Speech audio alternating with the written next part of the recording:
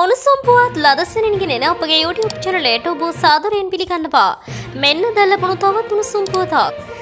රාජ්‍ය ආදායමට ප්‍රධාන වශයෙන් වැදගත් වන රාජ්‍ය ආයතනවල විශාල නිලධාරී හිඟයක් පවතින බව මුදල් රාජ්‍ය අමාත්‍ය රංජිත් සියඹලාපිටිය පවසනවා.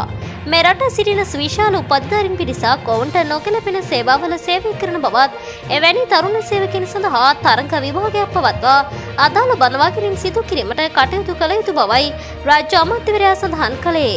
ඒ අනුව දැනට සිටින නිලධාරීන්ට අගතියකින් අගතයක් නොවන පරිදි හා ඔවුන්ගේ උසස් වීමට අගතයක් නොවන පරිදි බඳවා ගැනීමට කටයුතු කරන බවයි අමාත්‍යවරයා වැඩිදුරටත් සඳහන් කළේ.